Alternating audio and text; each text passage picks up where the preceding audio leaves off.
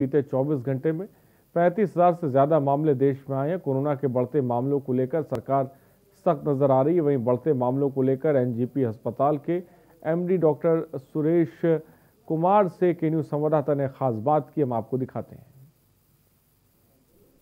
देश में एक बार फिर से कोरोना ने एक नए रूप में तेज़ी पकड़ ली। आपको बता दें कि बीते 24 घंटों की बात करें तो पैंतीस हज़ार से ज़्यादा केस आए हैं। इसी पर बातचीत करने के लिए हमारे साथ एल हॉस्पिटल से डॉक्टर सुरेश कुमार जी जो एमडी हैं यहाँ पे। सर क्या नई वजह है जिसकी वजह से कोरोना तेज़ी पकड़ रहा है? देखिए काफ़ी सारा आ, हमने देखा है कि स्टेट्स हैं जिसमें कोरोना के केसेस बढ़े हैं। जैसे पंजाब है महाराष्ट्र है केरला है।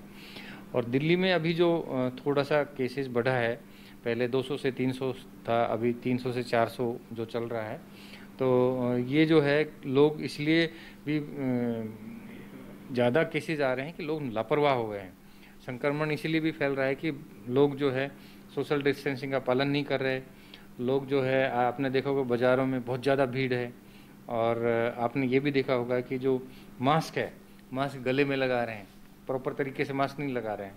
तो ये एक बड़ा कारण है तो आपने देखा होगा कि इसलिए लापरवाही के चलते कोरोना के जो केसेज हैं वो बढ़ रहे हैं।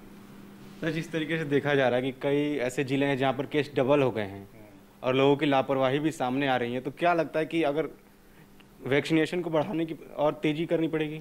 निश्चित रूप से वैक्सीनेशन बहुत ही एक पावरफुल टूल है जिसके माध्यम से हम कोरोना से बच सकते हैं।